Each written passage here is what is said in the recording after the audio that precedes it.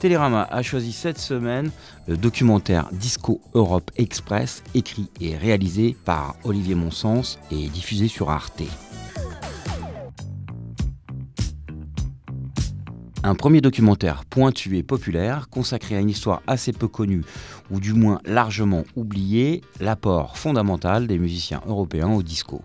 Mais c'est intéressant de partir de l'Europe parce qu'en fait, même si le disco est parti de Philadelphie en 74-75, très très vite, les Européens, les Munichois d'abord, ils sont inspirés de, de, ce nouveau son américain, mais avec une patte européenne quand même. Quelque chose de différent, ils apportaient quelque chose de différent. Et puis les Américains ont entendu ça, et très vite les Américains se sont dit, mais tiens, c'est dingue ce qu'ils font avec notre son, ça a l'air intéressant. Et si nous, on s'en inspirait Et donc, une espèce de ping-pong comme ça, on parle évidemment du meilleur disco des premières années, euh, qui s'est établi entre Philadelphie, Munich et Paris. Et donc, il y avait une histoire fabuleuse à raconter, et d'autant plus fabuleuse que, évidemment, le disco, surtout en Europe, c'est une musique de producteurs, donc de personnages de l'ombre. Et euh, il y a deux, trois personnes connues, mais il y a plein d'autres personnages de l'ombre pour des tubes mondialement connus. Et voilà, c'est ce que j'ai voulu euh, raconter, c'est ce dans quoi j'ai voulu m'immerger.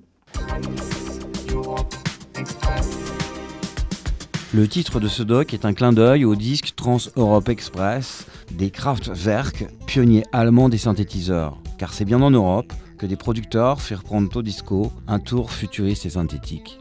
Dimitri from Paris dit Bon, Daft Punk, la face émergée de ce mouvement il y a quelques années avec cet album euh, Random Access Memory, euh, finalement, ils ont rendu familier un son. C'est-à-dire que maintenant, dans un set, si à un moment à côté d'une production actuelle, euh, je, balance Love in C minor de Céron, je balance euh, Love to Love You, ou je balance des choses de voyage ou des choses, eh bien les gens ne vont pas quitter la, piste parce qu'ils ont été habitués à ce son. Et puis surtout, ils vont découvrir des histoires. Moi, ce que j'aime, c'est raconter des histoires. On se plonge dans une période, on sent l'odeur de l'époque, on voit les, couleurs de l'époque, et en plus, on est entraîné par une musique qui est quand même proprement jouissif. pour moi, le disco, moi, c'est le meilleur des antidépresseurs.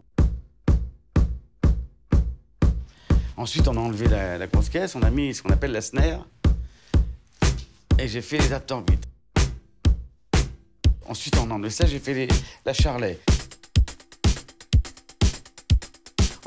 Pour avoir un son de batterie d'une pureté, d'une propreté et d'une rigidité.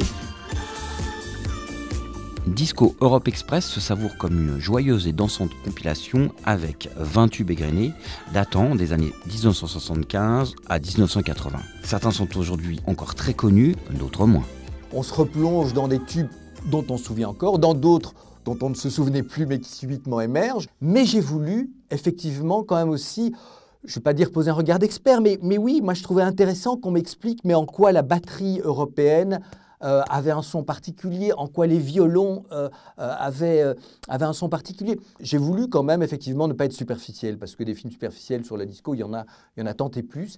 Et j'ai voulu poser à la fois un regard entre guillemets d'expert, en tout cas de quelqu'un de très curieux, mais toujours en, à tout moment en, ouvrant sur, le, sur, sur, bah, sur, la mémoire collective quoi, et, sur le plaisir qu'on peut avoir à s'y replonger.